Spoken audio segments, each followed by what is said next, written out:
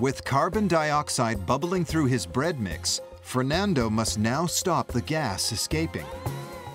And to do that, he alters the chemical structure of the dough by a process called kneading.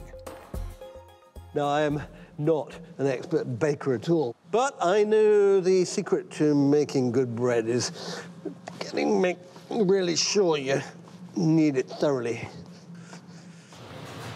When we knead bread, we are forcing two proteins inside the flour, gliadin and glutenin, to form bonds, creating a tough new substance, gluten. And this is where the art of bread making comes in. If you don't knead enough, then you won't create enough gluten in your loaf. So the gases will escape and it won't rise. But get it just right, and the effect on the loaf is magical.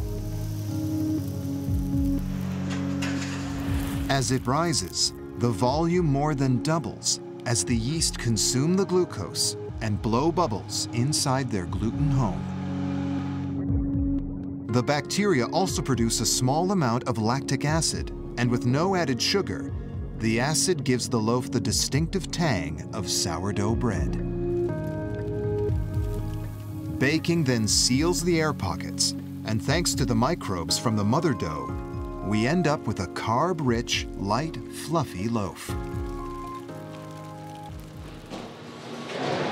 Whoa, whoa, wow. Hey, Even uh, how many loaves is that?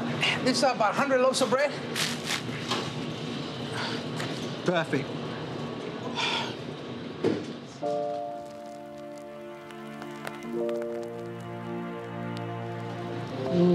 It's it's incredible.